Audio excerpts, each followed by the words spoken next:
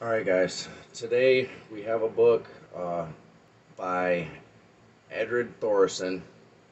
Um, I like his material, especially on the Norse topics, because it's so easy to read the way it's written. Um, I was getting into the roots of the Germanic runes and the language itself, and found the Teutons. The Teutonic people are the origins of the Germanic runes, language, etc. Um, the Teutonic runes are the origins of the Roman and Greek alphabets. They are uh, they're the beginning to European written language.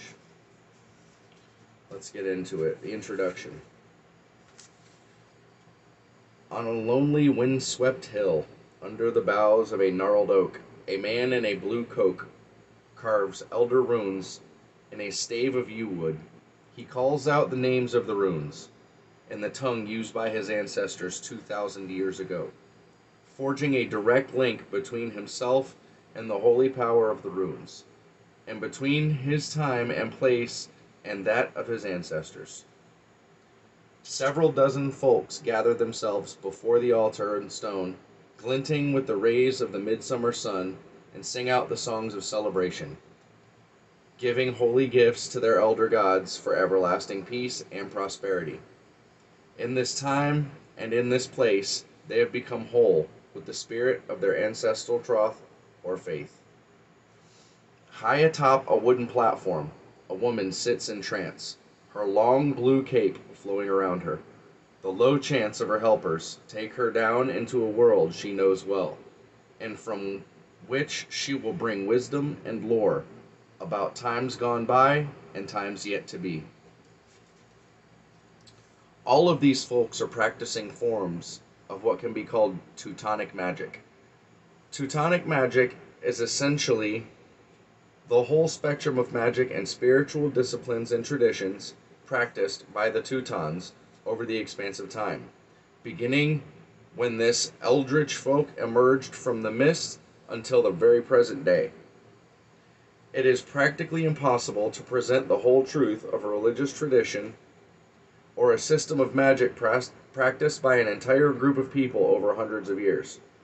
There are, however, great truths and deep secrets about how the Teutonic folk practiced their troth and magic in days of yore and how they practice them now that will be of interest to all of those who read this little book. Here we will explore not one, but several great traditions of the Teutonic magic. We will look at the essence of rune magic and of the Seidr. It's a word that I had an issue with. I put it up on the board. S E I D H R. I have seen it say that it is pronounced Seder, and I have seen it pronounced cider. Um, I like the D as the TH in the pronunciation of it. So it would be more like cider. Uh, I'm sure Jackson Crawford will rip my pronunciations apart. I'm, I'm not his level. The two main practices of the timeless and pure forms of Teutonic magical practice. We will examine the traditions of the great troth of the Teutons or the religious faith as it is practiced today. Furthermore, we'll take a look at the magical teachings that have been influenced, shaped, or reformed by the Teutonic mind and that have subsequently become the occult standards of Western tradition. Who are the Teutons?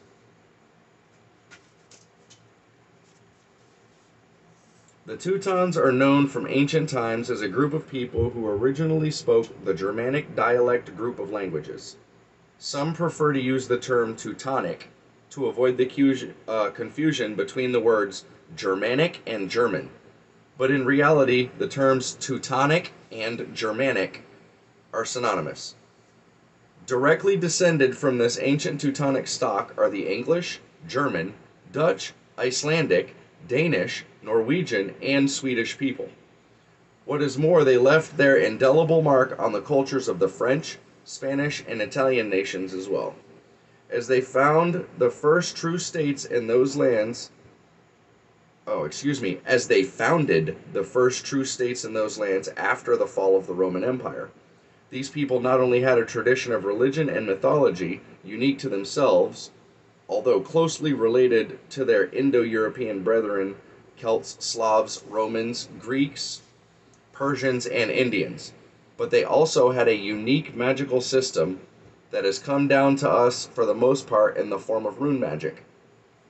The magical and religious teachings of these people are most clearly laid out in the ancient texts known as the Eddas, of which there is a younger Edda, a prose Edda, an elder or poetic version.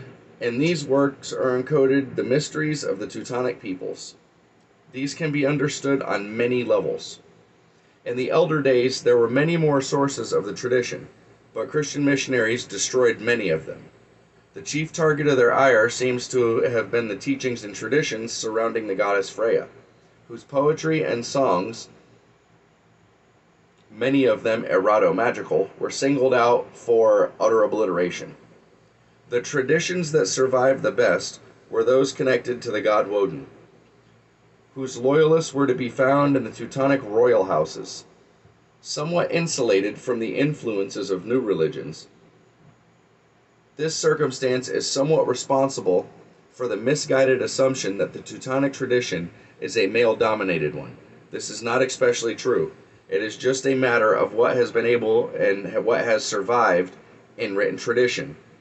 Now is the time to revive fully the elder ways of the goddess Freya. In modern times, the Teutonic stream of magic has been largely ignored during the great magical revival in the Western world. There were revivals of the Germanic tradition in the 1500s, again in the 1600s in Sweden, and in the late 1800s and early 1900s in Germany.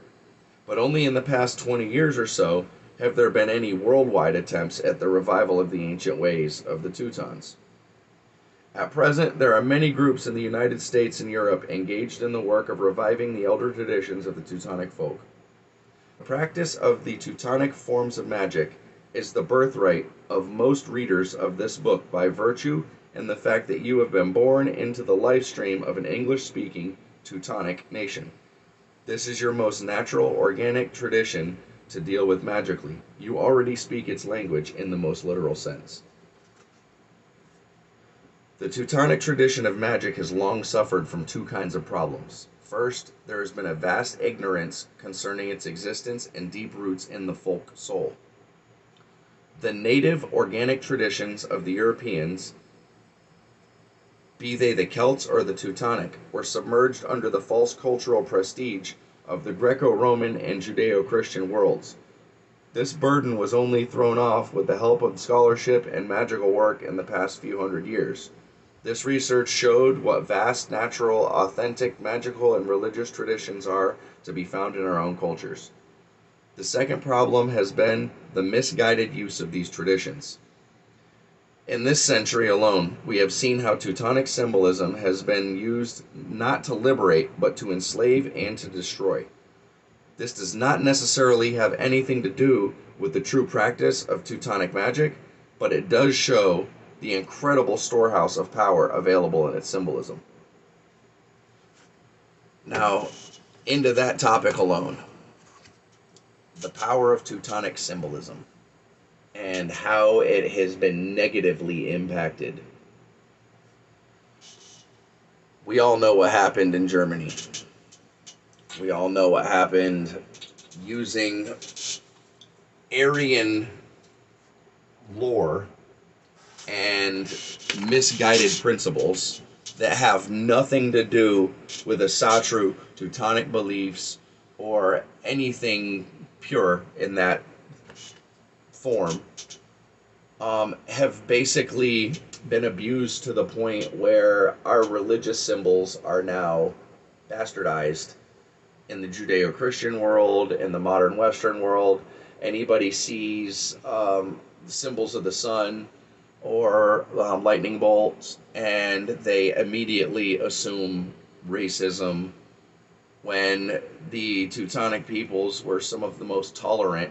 The Aryans were not a single group. They started out that way, but so many different civilizations integrated into the Aryan culture from Rome all the way to India.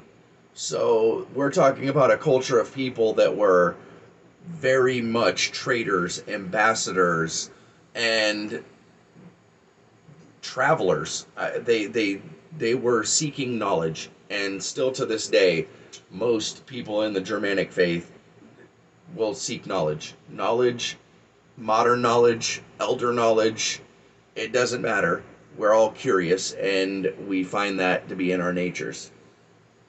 Um, I, as a young man with a Catholic descended father, had many times been brought to Christian churches and the such. And I never felt proper there. I never felt like I was part of the flock. Um, I had a panic attack in a church, um, a revivalist church, healing sessions, laying of the hands, the whole nine yards, and they were referring to people as sheep, and I flipped out. I was not a sheep. I never have been a sheep. I have always been a wolf of my own path. Um, and at about 16, I started looking down the path of my German grandfather and my German grandmother and where their roots were and found Norse Germanic religion and Woden and um, the faith that I currently practice and that I am researching constantly.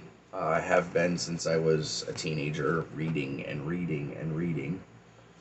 Um, you know, I find so many similarities between the Odinist religions and Christianity and the Garden of Eden and the apples is the biggest one. The Garden of Eden, the temptation of Eve, and the apples or deception with apples that are granting eternal life and knowledge. Um, and the Garden of Iduna, the story of Loki and the apples in the Garden of Iduna. Um, they're very similar. They have very many parallels. Um, I find that people researching the history of the Teutons will find bases of Gnosticism, Christianity, Roman Catholicism, and many other religions are based in the Teutonic people's beliefs and practices. Um, so, over time, I'm going to be doing a couple more videos discussing the Teutonic people, their magic, rune magic. Um, it's where our it's where our faith came from. It's where the Germanic people originated from the Teutons. So in the future, I hope to do a couple more videos. I'm going to finish the reading of um, Edred Thorsson's book, Teutonic Magick. Um, it's not a it's not a very big book. It's very basic, but it has the most essential basic information in it.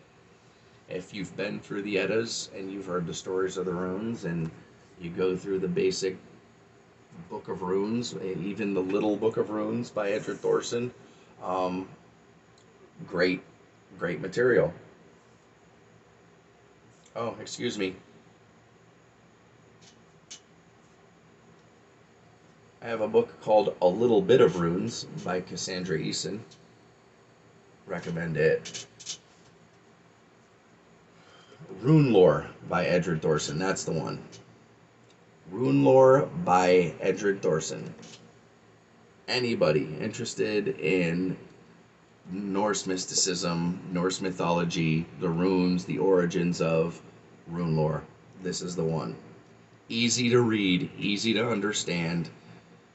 Concepts that are so simple and relatable that anybody can get into it. Um, that'll be the next book I get into beyond this one. You guys have a good day. Keep the old gods alive.